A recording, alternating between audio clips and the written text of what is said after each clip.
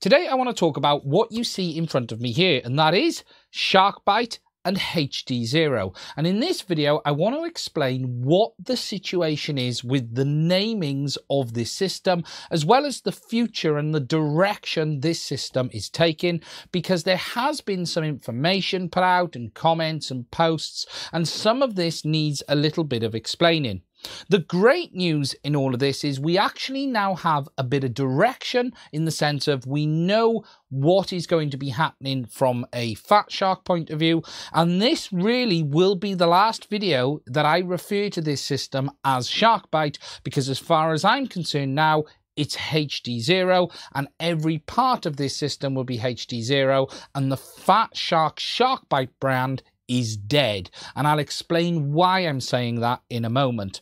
Now, just before I get into it, I just want to add, if you do find this video useful, please do consider hitting the subscribe button. Don't forget to hit the little bell next to it as well. If you'd like to support the channel, there are links to our Buy Me a Coffee as well as Patreon, as well as this system too, if you're interested in getting yourself one.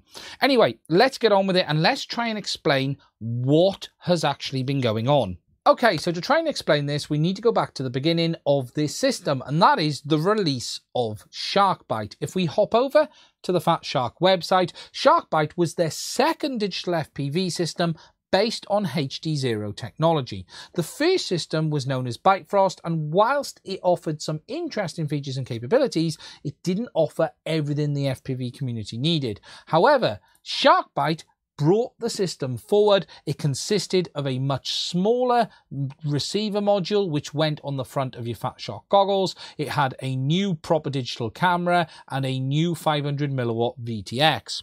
Again, this system, just like Byte Frost, was based on DiviMath's HDZero technology, which allowed for ultra low latency, fixed latency digital FPV. If you don't know, who DiviMath are. They are the company that makes the chipsets behind this system. Their goal was to make the chipsets, not the systems themselves, and sort of become the go to place to get a chipset for a digital FPV system. So rather than sell the systems, sell the underlying technology behind it. Over time, this Shark Byte system under Fat Shark developed very slowly, I may add, but it did develop. And we had a release of a new VTX, which was the TX 5.1, which was a smaller single board whoop style. We then had the Race VTX, which added smart audio, and then we even had a set of FPV goggles with the digital receiver built in called the Scout HDs. The interesting thing around all of this is whilst Fat Shark were developing it, some things were going very slowly. For instance, we still only had one camera on the system. Now, as I mentioned, as the system was going along under the Fat Shark brand, whilst it was based on HDZero technology, it was very much a Fat Shark system. They were releasing updates to the community via blogs, they were talking about it, and as I've said, one of the last things they did was release the Scout HDs. The interesting thing though was around this time, Fat Shark had been purchased by Red Cat and they started to go very quiet. At the same time, whilst Fat Shark had gone quiet, Carl at HDZero got more involved with the community, started talking a lot more on Facebook, on groups online, and even set up their own Discord server. We then started to see this transition from Fat Shark saying nothing to HDZero really starting to push the system forward. At this point, we still only had one camera, and whilst there were other VTXs, firmware updates were getting better, but they weren't as quick as people would like. There was a point though where things changed and Carl at HDZero really pushed things on massively. We had a whole slew of updates which included canvas mode and we had a newer race VTX released like we've got today, which is the version 2, and the second camera for the system, which makes a massive difference, which was the HDZero camera based on the Runcam MIPI. What was clear was Fat Shark seemed to have taken a big step back, and HDZero, whilst not wanting to really become a manufacturer, sort of seemed to get pushed into it or forced into it to get the system developed further. We saw some interesting things happen along the way as well. For instance, Fat Shark released the price of the VRX module down to $99, and it was said to be done to help push the system forward. However, after that, things have all got a little bit strange. There's posts from users online saying they're not getting support from Fat Shark at times on anything, let alone HD Zero. And we then also had Carl announce that he's going to be working on some new VRX modules that are designed to be released in the new year. He's going to release a new VRX module with they own the plastic moldings another version which has analog and digital built in, and a third unit which has that display module with HDMI output like we saw on the original Bifrost system. In between all of this going on, there was also quite a big thing happen, and that was that this system won the MultiGP with Evan Turner. However, the real interesting thing in all of that is that it wasn't branded Shark Byte, it was branded HD Zero. And we had this situation where you had this system really now being pushed by Carl and Fat Shark literally being completely silent. They did release these goggles, but they still hadn't even released a manual for it to this day.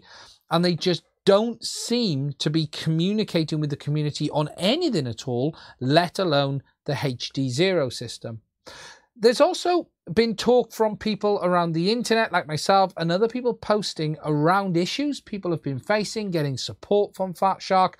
And one user posted something a few days ago that was very interesting, and that was what they said to this person was, Thank you for contacting Fat Shark and is sorry to hear about your Shark Byte system.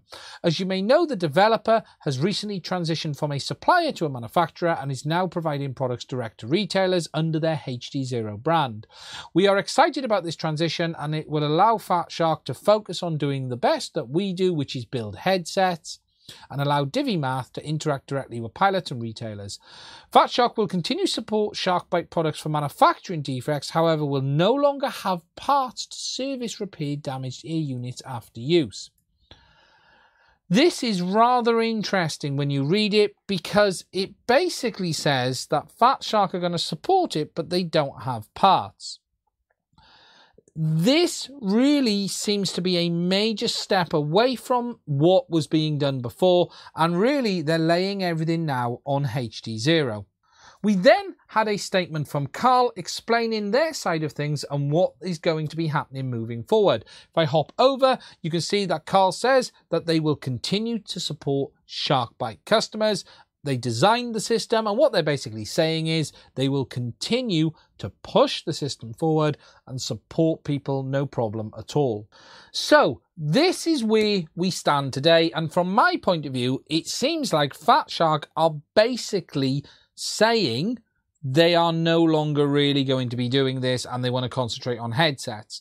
They don't say they're ending the system or they're not going to make HDZero compatible headsets. They simply talk about those VTXs. However, for me, this puts a big nail in the coffin of Shark Byte, and in my opinion, that brand is dead and it should not be used moving forward. HD Zero, on the other hand, are pushing ahead. They're releasing new VTXs with that 1 watt one around the corner, firmware updates, new cameras, and the system is growing from strength to strength under the HD Zero brand. To me, it feels like HD Zero weren't really happy with how it was going with Fat Shark and have simply decided to get on with it themselves.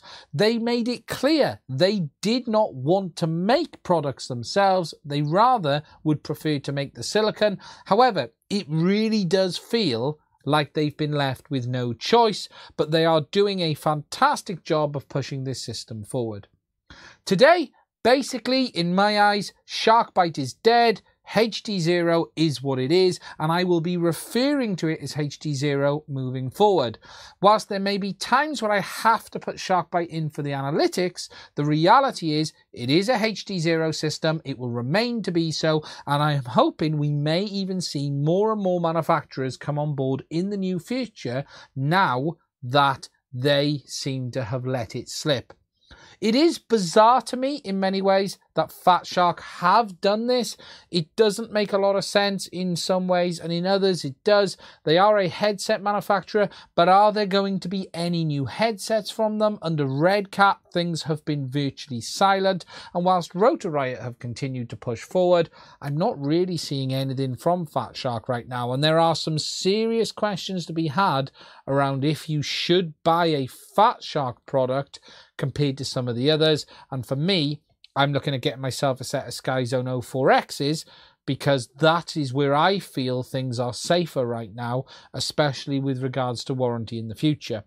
We all know we would love to see a set of HDO3s with HDZero built in, but whether that will happen or not remains to be seen. And who knows, we might even see something like Skyzone get involved and maybe develop a system moving forward. Today, though, what we have is HDZero remains around the corner. We will have more VTXs, we will have more VRXs, and I'm sure there will be more cameras coming soon too.